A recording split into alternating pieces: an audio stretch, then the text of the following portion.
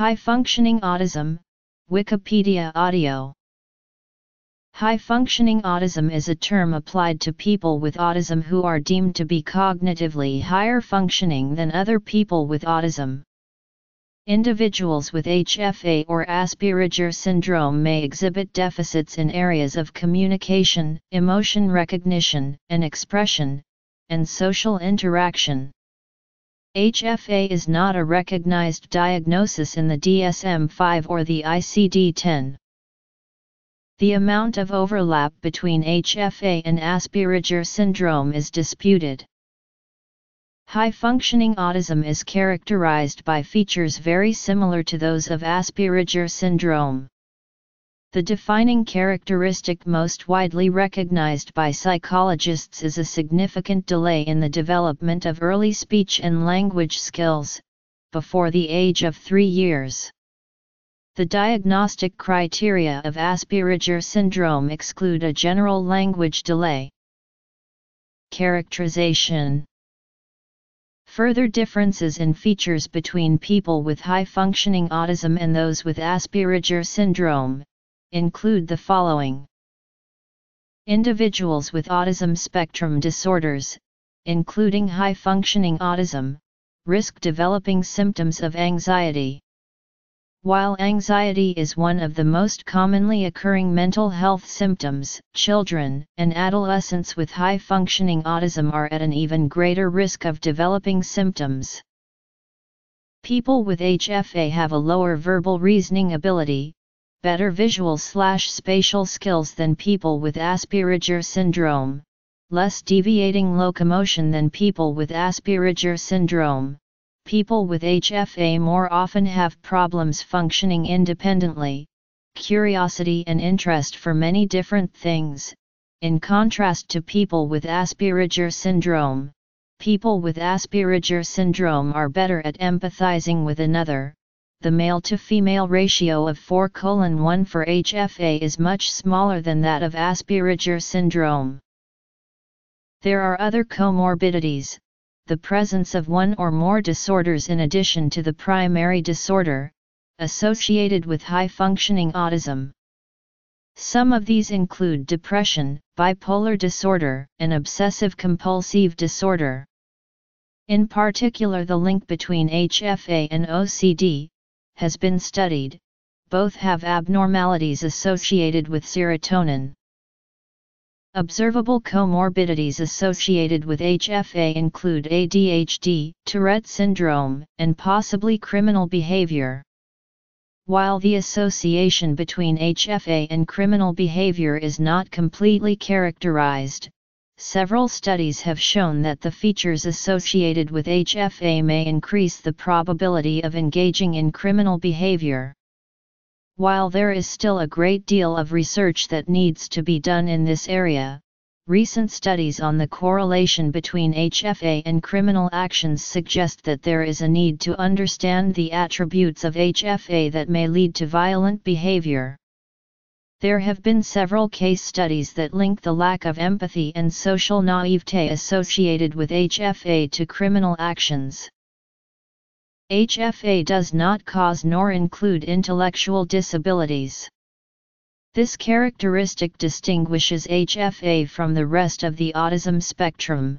Between 40 and 55% of individuals with autism also have an intellectual disability. Although little is known about the biological basis of autism, studies have revealed structural abnormalities in specific brain regions. Regions identified in the social brain include the amygdala, superior temporal sulcus, fusiform gyrus area and orbitofrontal cortex.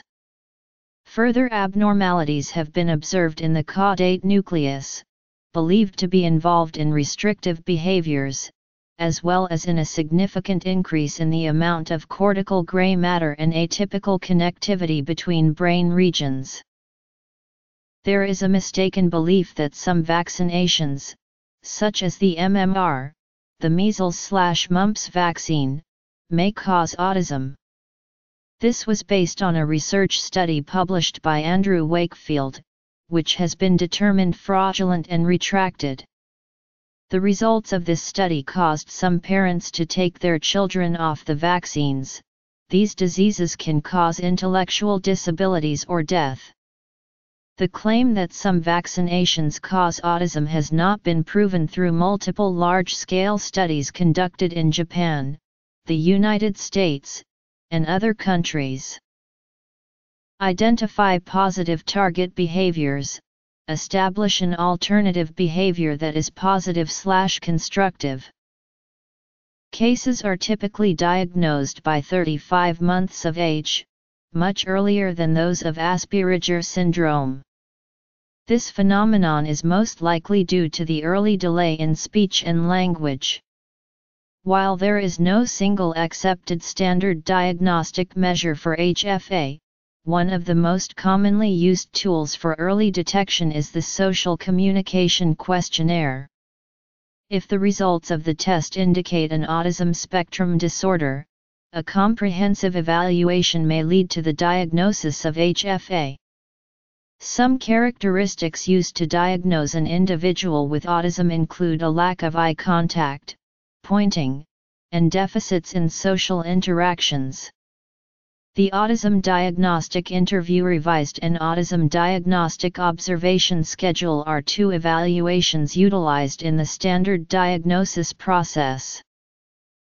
There are two classifications of different social interaction styles associated with HFA.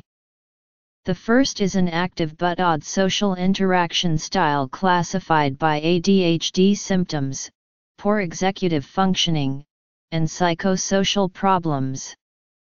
The difficulty controlling impulses could cause the active but odd social behaviors present in some children with HFA. The second social interaction type is a passive style. This aloof style is characterized by a lack of social initiations and could possibly be caused by social anxiety. Cause Treatments for HFA address individual symptoms, rather than the condition as a whole. For instance, to treat anxiety, which is often associated with HFA, the main treatment is cognitive behavior therapy. While this is the tested and approved treatment for anxiety, it does not quite meet the needs associated with the symptoms of HFA. There is very little discussion of the parent's role in anxiety intervention for children and teenagers. A revised version of cognitive behavior therapy has parents and teachers acting in a role as social coaches to help the children or young adults cope with the issues they are facing. There have been several trials proving that the involvement of parents in the lives of the children affected with anxiety associated with HFA is important. No single intervention exists to aid individuals with high functioning autism. However, there are proactive strategies, such as self-care and self-management, designed to maintain or change behavior to make living with high-functioning autism easier.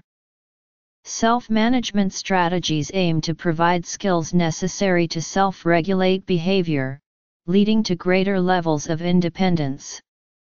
Improving self-management skills allows the individual to be more self-reliant rather than having to rely on an external source for supervision or control. Self-monitoring is a framework, not a rigid structure, designed to encourage independence and self-control. Self-monitoring is not for everyone. It requires the attention and dedication of the individual with high functioning autism as well as the individual overseeing the progress. A framework for self monitoring is provided below. The goal of self monitoring is to enforce self monitoring independently without prompting. Diagnosis Treatment